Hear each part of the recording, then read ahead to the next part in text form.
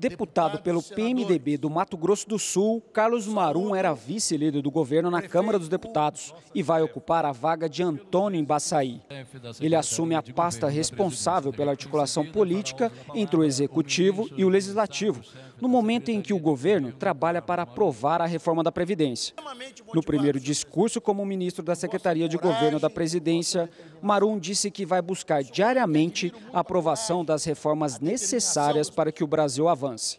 Não há como negar que já avançamos muito, muito, mas também estou consciente de que muito ainda é necessário avançar.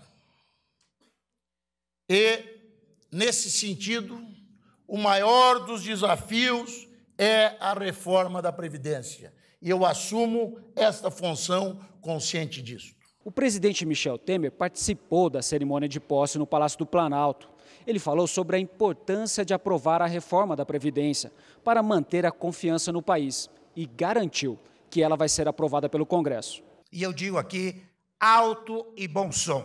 Nós vamos aprovar a Previdência do Congresso Nacional. Não tem a menor dúvida disso.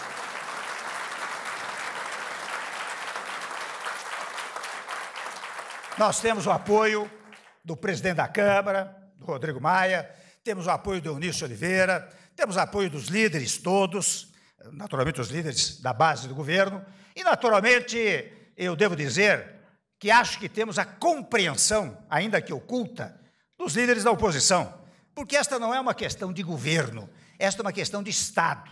Temer elogiou a atuação de Maru na Câmara dos Deputados e recomendou dedicação total para que a reforma seja aprovada. Eu peço a você, viu, Maru, que na sua atuação na articulação política, dedique-se dia e noite, 18 horas por dia, pelo menos, se possível 20, à reforma da Previdência. Você dedicando-se a isso, você está se dedicando ao governo, mas especialmente ao país.